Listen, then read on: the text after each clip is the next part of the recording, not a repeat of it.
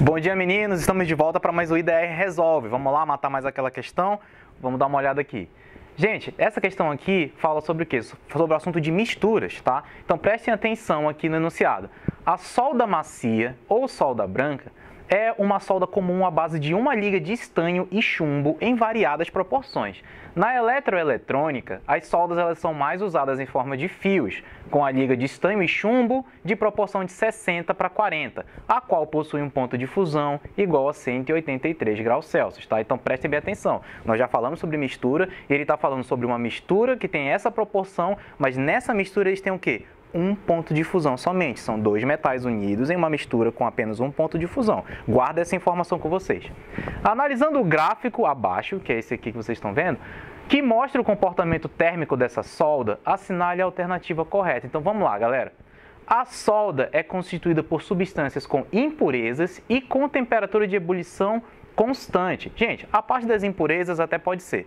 Mas olha só, preste atenção quando ele fala que a temperatura de ebulição é constante. Vem comigo, dá uma olhada nesse gráfico. Esse gráfico é familiar para vocês porque nós já trabalhamos esse tipo de gráfico em sala.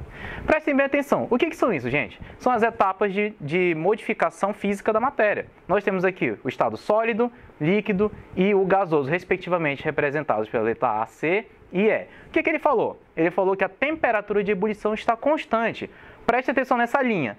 Ó, transição do sólido para o líquido é representado pelo B. Então, o momento aqui, lembram qual é o nome? Fusão. Então, o B representa a fusão e o D representa o que? A ebulição, que é a transição do líquido para o gasoso. Presta atenção na linha aqui da fusão, só tem uma linha, ou seja, ele tem um ponto de fusão constante que ele definiu ali no enunciado. Agora, olha para cima, vocês estão vendo o quê? Duas linhas. Essas duas linhas representam o quê? Dois pontos de ebulição distintos. Então, o erro dessa alternativa é dizer que a temperatura de ebulição é constante. Não é.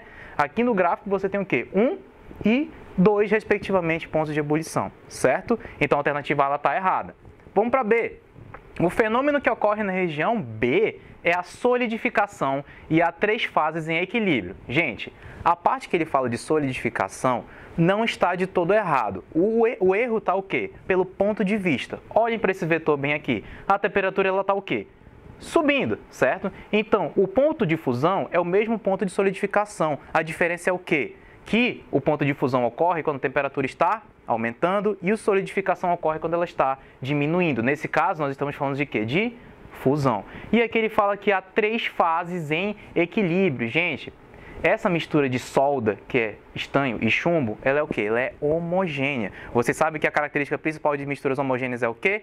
Não apresentar fases distintas. Então, nesse também tem esse erro nas três fases em equilíbrio. Então, por conta disso, a alternativa B está errada.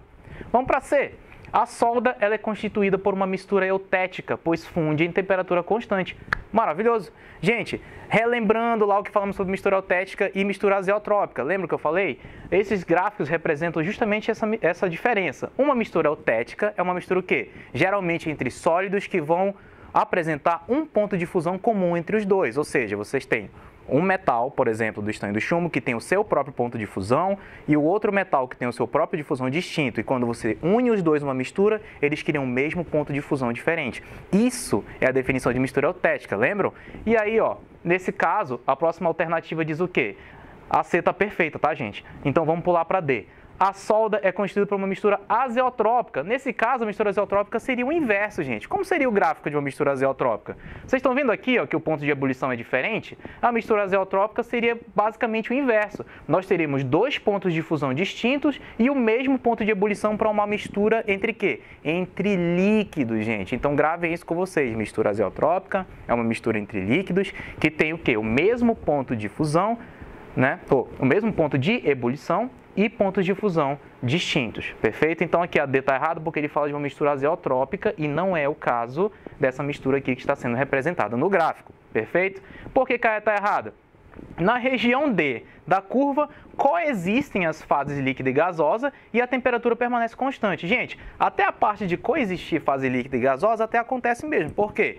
Nesse intervalo bem aqui, o líquido ainda está presente e gradativamente se transformando em quê? Em gás. Só que o erro daí está em dizer o quê? Que a, a temperatura permanece constante, gente. Não permanece, ó. Presta atenção aqui nesse vetor. A temperatura ela está o quê? Subindo subindo. Então ela não permanece constante, ela está cada vez mais aumentando. Então, gente, para essa alternativa, a C está perfeita. Eu aguardo vocês aí para a gente resolver mais uma questão e até a próxima, tá? Abraço.